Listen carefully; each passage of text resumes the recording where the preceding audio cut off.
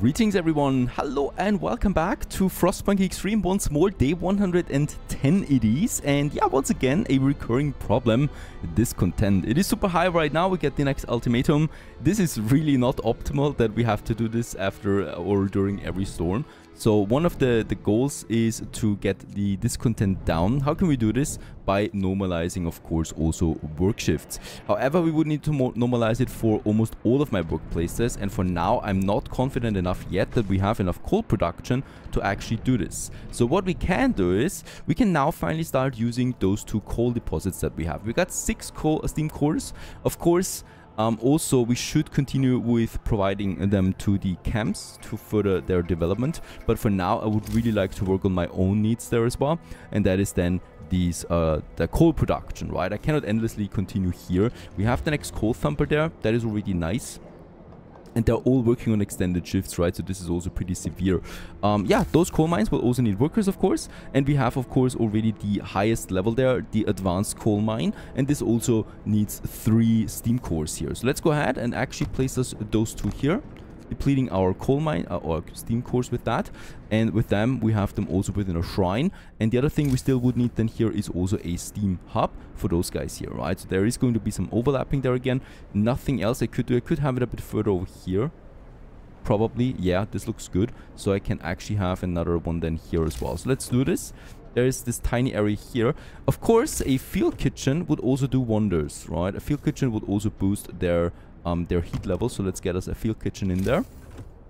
And then we have this road that goes all the way over here for probably another ho uh, two hothouses then that we can... Yeah, two hothouses might be fine for this. And then also the steam hub so that we can actually keep it running during storms as well. The only thing here is we probably will need to have some homes. I could try... I mean, who would like to live here? No one, right? Let's actually have it here. Let's start here so we have those roads. I just want to make this as tight as possible. And then we have the road, right? And then we have the next steam hub. That would be then somewhere over... Yeah, the tricky thing is I would need to get both of them in. It's not as easy as it looks. Um, but I have one steam hub then here. And we can have another one then here for also the garden that I'm planning there. This actually is working out perfect. Let's have it like that. So that's finally it. We are starting with the coal mining as well. Um, and we'll just see how that turns out for my coal overall production then.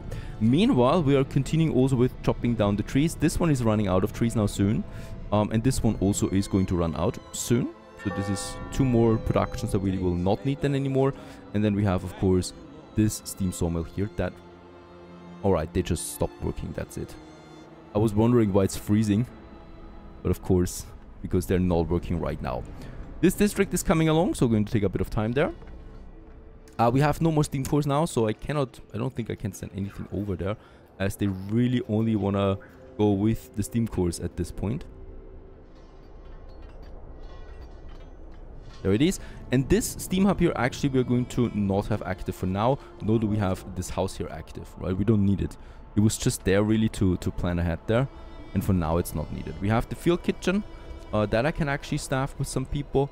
Um, yeah, and this is going to provide then the warmth to the advanced coal mine here, number one, and advanced coal mine number two. Really tall buildings, look fantastic, and they're going to boost my coal output quite significantly, 6,500 per day. Though, yeah, we're on steam level 3. But it's a nice bump, of course. Alright, uh, it had to happen at some point. Rotting roots, we have it. As a result, the roots of the plants have rotted until they regrow. The hothouses will work at only 10% efficiency. This is really severe, right? So this will totally, totally wreck my food production. And with that, we have now a negative supply here of 200 per day. Um, we have, however, 10,000 food rations stored. It's going to last me 6 days, leading to 800, 1,000. So we should easily survive it, right? At this point, because we've stockpiled enough. If this would have happened earlier, uh, we probably would have ended the game because this is one of those things that can really break you. There's the one for the hothouses, right? And then there's the one for the hunter huts. And if that if it happens too early, then it's game over basically. Now let's just check out my coal mines. They're working now. and they're producing almost a 100 coal per uh, per hour, right? Let's compare this one, for example, to a gathering post with 23. Um, of course, the steam coal thumper is the one that we should look at, and this is 111. So they're almost equal. The only difference is that the coal mine only requires 10 engineers, whereas the coal thumper requires 10 and then up to 4 gathering posts to collect this 50 workforce, right? So that is quite a severe difference between the two of them. However, of course, the coal deposits are not endless. And another emergency for the hot springs. The storm damaged the installation that heats our plants and this needs to be repaired ASAP. So let's just have a look what they want. Some wood we can supply.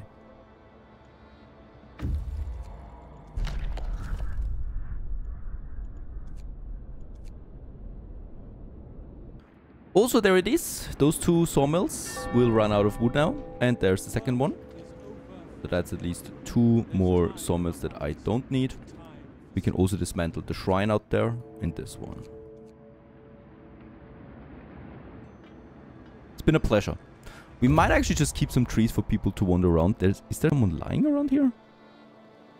There's two people standing out there in the forest. No idea what they're doing.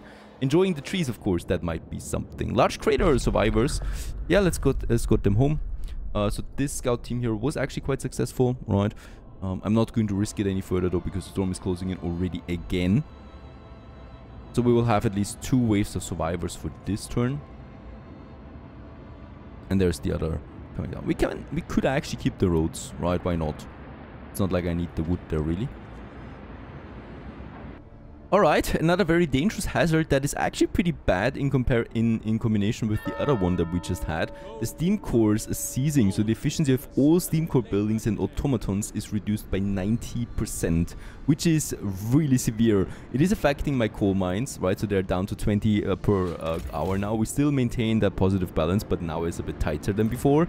Um, we have the hothouses once again not working full capacity, so we continue onwards with a negative food supply all the way to the next storm. So this will dwindle our resources by another 2,000 food rations about that.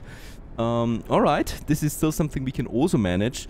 Also very severe is though the infirmaries. They are not working at 100% anymore. Some of them only work at 35% efficiency from now on. This is really bad for us and this is severely reducing my recovery rates that we have. So overall, a very bad hazard. One of the worst ones out there, I think, especially in later game.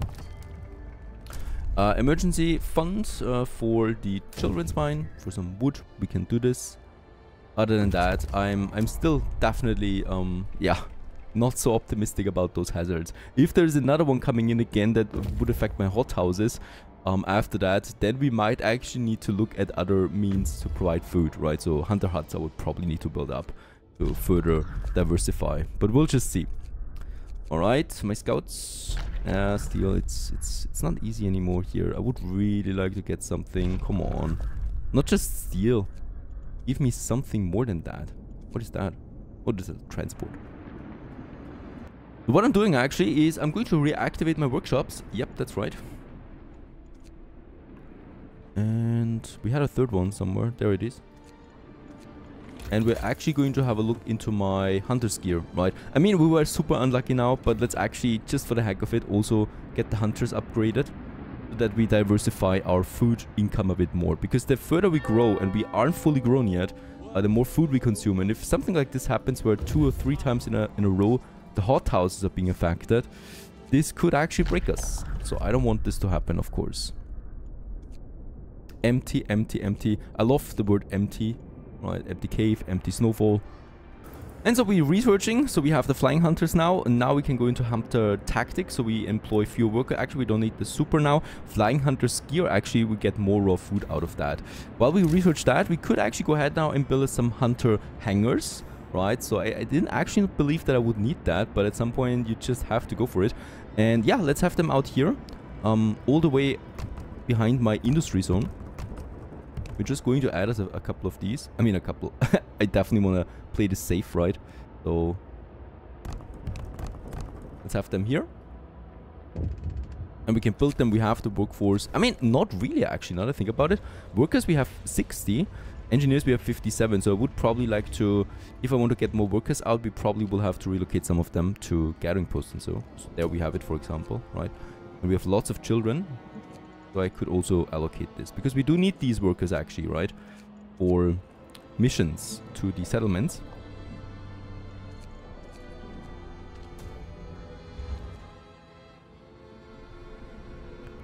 Another thing right over here, uh, we don't have a church yet for these for these guys there.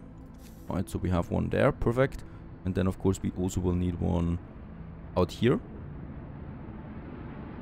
And probably another one then right in here somewhere.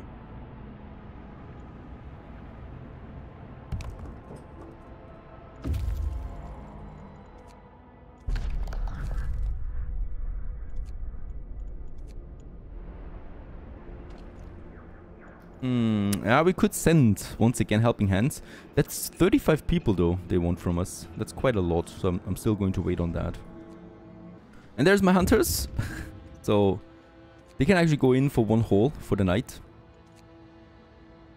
And as you can see, we do need quite a few workforces there, even though with uh, the upgrades, then we can reduce this significantly. So they will bring in 24 per day right? As opposed to, for example, 1.7 per hour, but with the reduction right now. I think the hothouses are still far superior to this. Um, especially since, uh, at least I think, you can't boost the hunters with the shrine.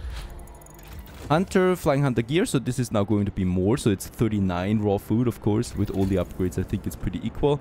And then we have the few people there as well. So I do have now diversified my food income, right? So if one of them is a factor, we can just boost the other one and Children's Mine. We thank you for the medics you sent to help our healthcare. There's still so much more sick kids than bats, and we noticed that the youngest unfortunately wind up at the end of the queue. You could tell your medics to organize and enforce a queue starting with the more severely sick. Start with the sickest kids. Let them organize themselves. Nah, let's start with the sickest. Actually, this time around, I'm going to displease them.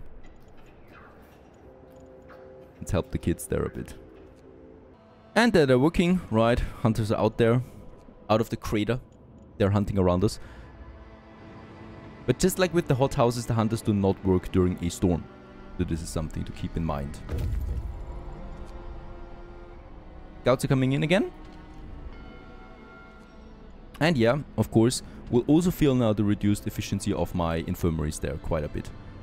By the way, by the way, I don't think all the infirmaries have the shrine. Yeah, we could go with another shrine here.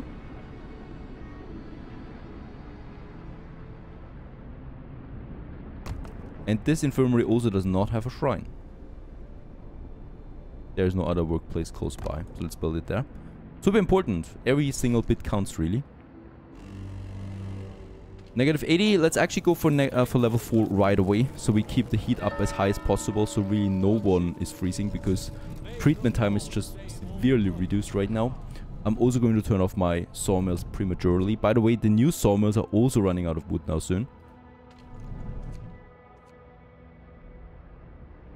Yeah, and after the storm, just shortly after, we can feel that, right? We got 136 right now because of the reduced sick rate.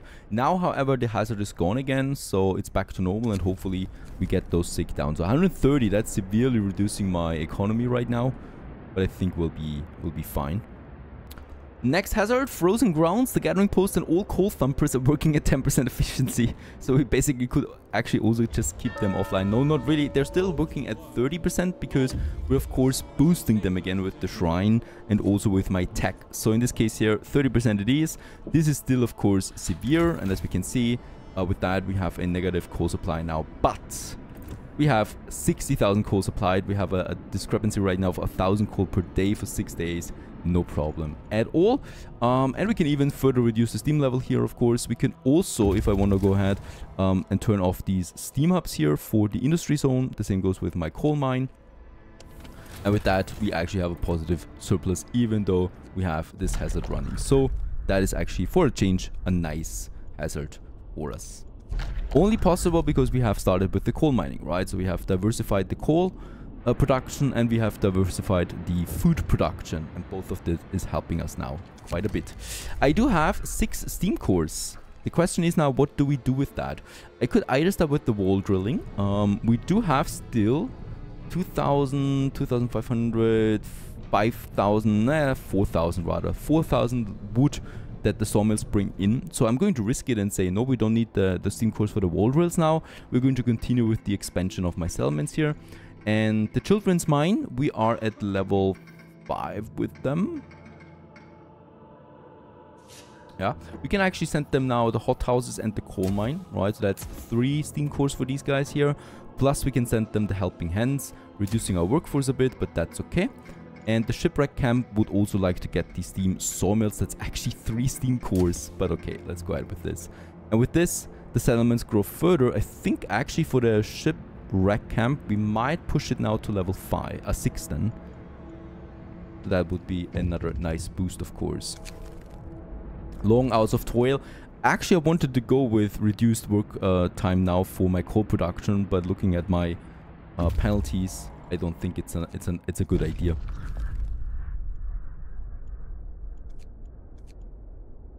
And yes, with that, the shipwreck camp is completed. Right, so we got the first settlement completed and the children's mine is also completed. Great stuff. Two camps, two settlements fully completed. Now we just have the hothouses and there's still there's still going to be a bit of work. Sir, a group of amputees is here to see you. They want to help in the cookhouse. We don't want to sit on our arses all day, content with just uh, being kept alive. Content. Uh, we can't do hard work anymore, but if we fashion some simple prostheses out of wood, we can help in the cookhouse and earn our keep. We will spend 100 wood and cookhouse efficiency will be ri uh, risen or will rise by 40%, of course. That is super easy. And with that, uh, yeah, my two cookhouses are now at 170% efficiency. Uh, that's that's pretty great, I think. The next sawmill is out of work. Let's dismantle it. With that, we have three more, two more sawmills actually only, that are working for us now. But we have six steam cores, so we could go for a wall drill after the storm.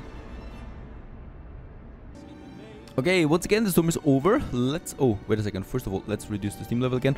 And let's have a look. Pump renovation it is. All pumps will be overhauled and improved to expand the cultivated area. I would like to continue, of course, with uh, yeah, providing for the hot springs. This should be fun. And with that, we are unlocking level 5 for the hot springs as well. And yeah, a whole bunch of things. So they want new pumps uh, for settlement. Alright, we can do this. We can also give them a borehole. We will try to make food production safer without devastating their natural habitat and places important to locales. Uh, oh, overflow redirection will not be possible anymore. This is the other one. The best way to do it would be flood the caves. Alright, let's go with boreholes. Yeah. And then we have the wall drill as well. Wood deposits to help with the repair and maintenance of buildings. And then also the comfortable housing that I'm also going to give them. And then I think only the helping hands is the last one, but for that we need 30 workers that we actually don't have right now. Because I'm also using them in the in my hunters, right? Hunter hangars there. That's something to keep in mind. With that, we still have two steam cores available. And I think we don't need to send any more steam cores over. Let's just wait for these shipments to arrive and then we'll just decide on that.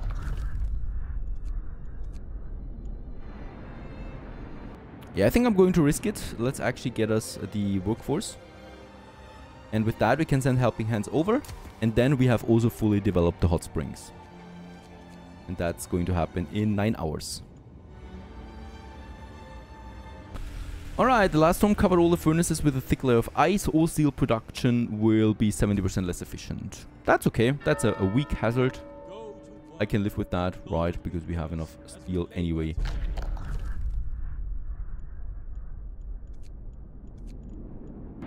And there it is, Hot Springs fully developed now. And with that, we have all the camps now fully developed. They're also all loyal to us as far as I can see. And we have unlocked the achievement with that. How very good. Alright, some steam cores are coming in. Um, I would like to use two of them for the large gardens finally, right? So we have um, the space then here. Oh, actually, you know what? We had the street there as well. Let's just see how we can place them something like that. And then another one on the other side, something like that. We'll also, of course, need to properly heat this area then. So I'm going to need another uh, steam hub then over here somewhere. First of all, we need to make sure that I'm not wasting it too much. I mean, hmm. It's a lot of space that these gardens require. I think this would be the best way. Yeah, Let's have a steam hub here. And then I'm going to need another one for this area. So this is pure luxury, right? But it's going to be worth it. And then we have one here. I think this will also be safe to, to use here. Perfect. There you go. Uh, with that, this plaza is coming along uh, that I wanted to do, right? And we can also go ahead and have then some more streetlights here. Just around the, the garden there, really.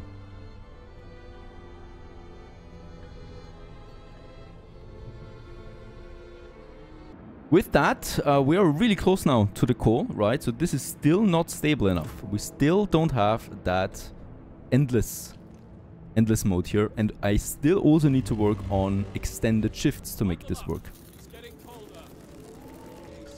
Alright, the next storm, as we are approaching the next storm, or as we are in the next storm actually, the last sawmills are out of business. So I'm going to dismantle this one. This is ending an era, right?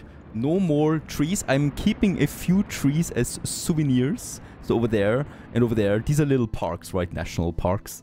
I'm going to declare it now a national park. And yeah, there's people around that usually, you know, they like to go to walk in the forest. It's fine for them and they can do this. However, now we have no more source of wood. Lucky us, we got eight steam cores that we found. So I'm going ahead and we can now finally have that advanced wall drill.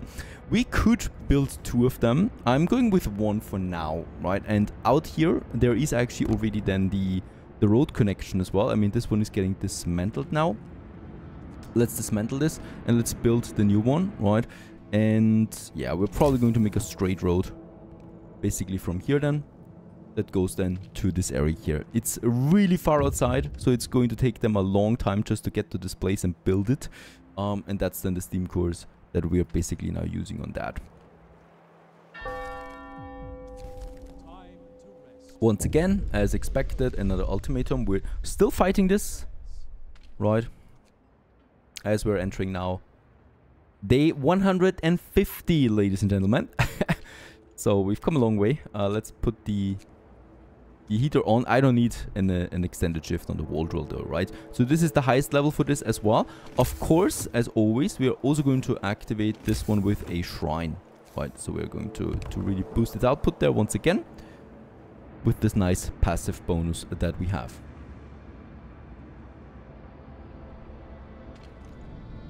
Storm is over.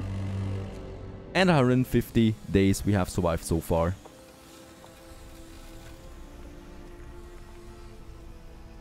Stay tuned.